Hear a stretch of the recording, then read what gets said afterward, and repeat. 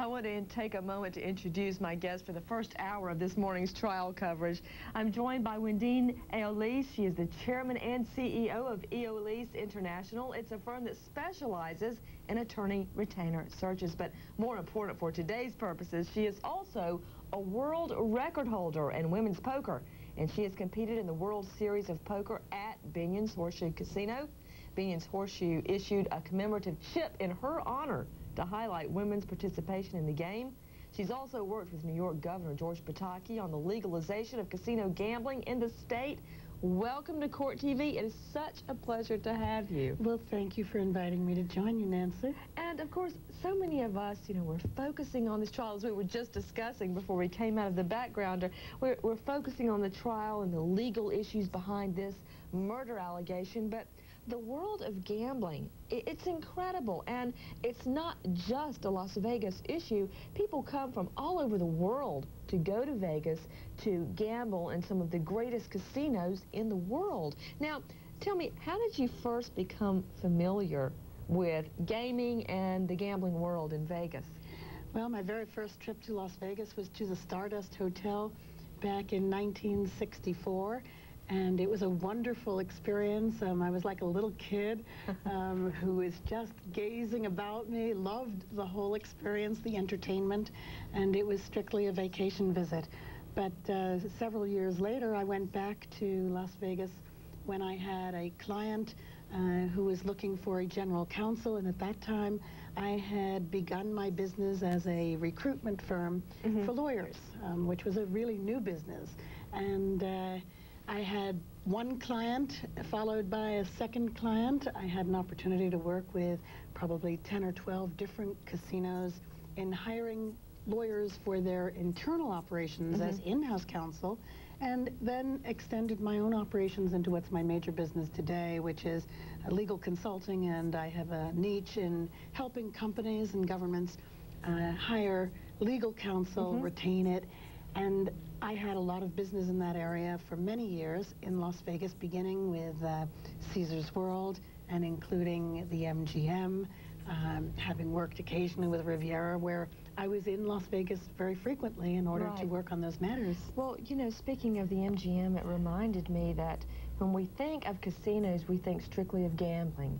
But the casinos now, I mean, they are multi-million dollar operations, and it's not just about gambling. For instance, uh, they have prize fights there. They have uh, entertainment, world-class entertainment there. I mean, it has morphed into a, a, a, giant mega corporation these casinos have. I was thinking strictly back about the uh, Tyson fight at the MGM Grand and uh, how they've taken on a, a, whole new identity. But Wendy, how did you end up being the world record holder in women's poker? Well, first of all, uh, when I started playing poker back in 1986 at the uh -huh. World Series of Poker, there were a very few number of women yeah. who were ready to compete at that level. So it was easier to become a record holder at that point among women in particular because there weren't that many against whom I had to compete. My first experience in playing poker at Binion's Horseshoe in 1986 resulted in my finishing in the money, as they say in poker, which means that um, among the last 36 players that year who were paid money uh, for their finish. I was able to finish number 25 along with that grand old man of poker, Johnny Moss. Mm -hmm. And it was an exhilarating experience. I loved it. And uh, it made me think I ought to go out and really try to learn how to play poker because I knew I'd gotten very lucky, as they say. Well, okay, so you, but how did you get into it? I mean, I've, I've been to Las Vegas once, and I did just a routine uh, playing of the one-armed bandits, the slot machines, to say that I had gambled, walked around the casino floor, but nothing pulled me toward the poker table. But you went on to be a world-class player. What is it about the game that drew you? Well, I think first of all, I had card sense before I started playing poker. Mm -hmm. I had way back in the late 60s um, been interested in MIT professor's writings on blackjack mm -hmm. and um, was familiar with blackjack and the strategies in blackjack that could help reverse uh, the odds on whether or not you could win or lose a hand by keeping track of the cards. And um, I wasn't anxious to oh, be a blackjack now hold counter. on, hold on. I'd rather go in court and try a serial murderer and put him behind bars than try to remember of keeping track of what cards somebody has shuffled 30 minutes ago. I mean, my, people's minds just work in different minutes. So you're telling me you can beat the, the blackjack odds by by memorizing the cards that have been played before? Well, I sure can't anymore. Wow. I haven't done it for okay, 15 number years. one, I'm totally impressed, okay? But, you know, it's my understanding that the worst odds on the floor are the roulette odds. Is that true? Especially if you got the double O. Well, I know the double O creates a problem for you, but um, I, I think that just generally speaking, it's fair to say that casinos are in business to make money, and generally uh, they do because they beat the gambler. Well, I want to tell you a funny story, Wendeen. I, I went to um, a conference on the legal issues, for instance, the First Amendment issues and so forth of casino gambling recently, and uh, the big hot topic was internet gambling and video gambling, and these were all casino professionals. And when they started talking about internet gambling, they all burst into laughter because you basically never win.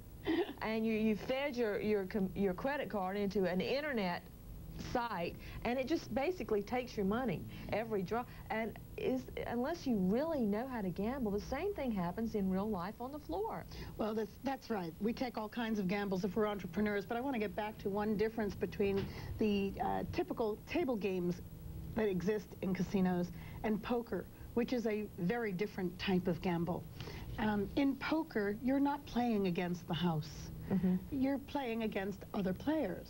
And therefore, the opportunity to develop skill in understanding the probabilities of winning a hand against other players, in understanding the numbers questions, as well as understanding the people questions and how people behave when they hold certain hands, distinguishes poker very seriously from all of the other casino games. In fact, um, someone was asking me recently, uh, do I consider myself a gambler or a card player?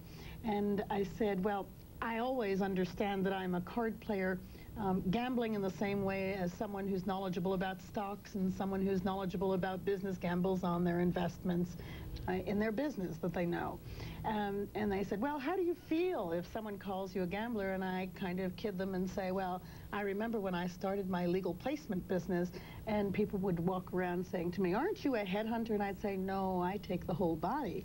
so the fact of the matter is what people call it is of less concern to me on a personal level than how we handle our ability to develop skills in the things we do, whether it's a hobby, an avocation, or a vocation. And in poker, I became very serious in terms of tournament circuit play mm-hmm. and wanted to be the best that I could possibly be. Well, Wendeen, uh, you have been there. You've been to Binion's Horseshoe Casino. You've been to every one of the gambling casinos in Las Vegas. I can't wait to talk to you about that and the, the subculture of gambling and the subculture of the owners of these casinos. What type of world do they live in? That and a whole lot more when we come back. And speaking of gambling, did Ted Binion take the gamble of his life? When he bet on love in a strip bar with Sandy Murphy. She's on trial now for his murder. And let me remind you,